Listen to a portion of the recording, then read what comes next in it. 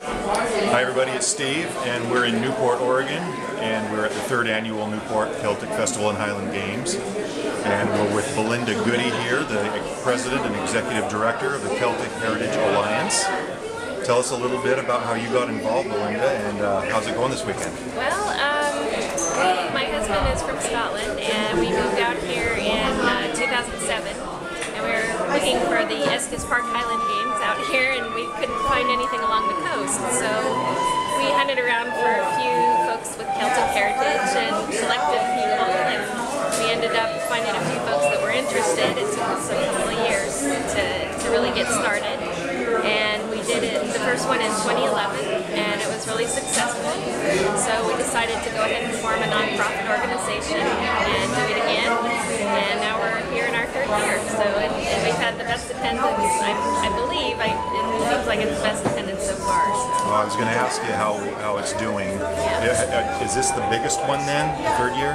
I would say yes Yeah, with all your vendors and bands and Absolutely. We sold out our vendor spaces early.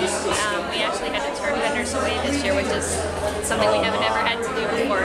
And we're thoughtful about it. We try to balance the amount of retail and then balance that with education so that everybody, you know, makes the money that they need to make to come out. So um, that worked out well, and we've had the most Highland Games athletes that we've had before. So. Excellent. How many people are on the alliance or on the board? If you, Our board of directors has four people.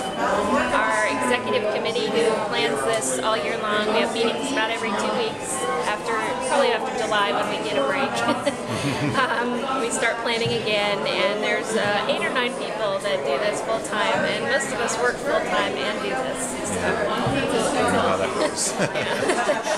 so when people want to learn more about the festival, is there a website that they can go to and learn more? Absolutely. It's NewportCelticFestival.com. Great. Okay. Well, thank you very much for your time. I know you're busy today. We're all in the middle of this thing, so so be sure to check out the, the website and uh, come on down to Newport next year. Um, you'll see, you'll enjoy it. You'll see the videos and you'll see what we're talking about. So, thanks again.